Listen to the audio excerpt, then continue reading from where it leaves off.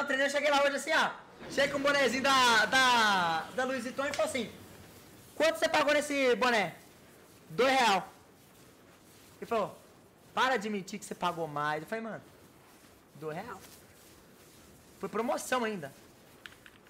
Dois reais. Meu Deus. Olha meu loot chat.